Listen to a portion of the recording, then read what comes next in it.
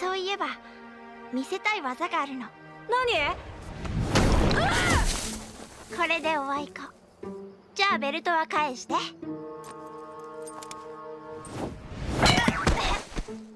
ごめん。あっ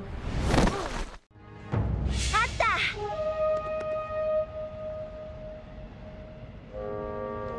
って見つけたら誰かが言うんだろうな私は遠慮するからみんなで行って。入れない理由でもあるの？本を手に取ったことはある。でも私にとっては何の役にも立たなかった。ああそっか。ごめん。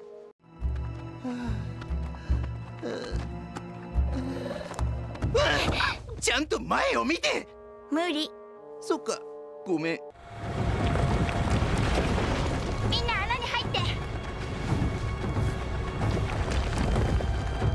こん中真っ暗だな。何にも見えない。ええー、まるで悪夢だね。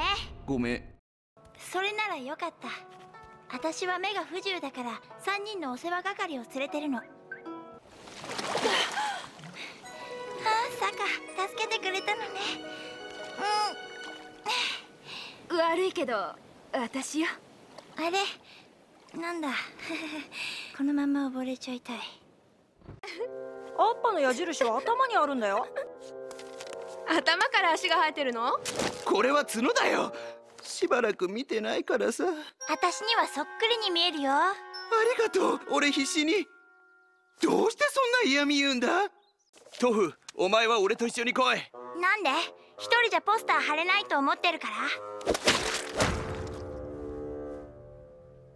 上下が逆なんでしょ？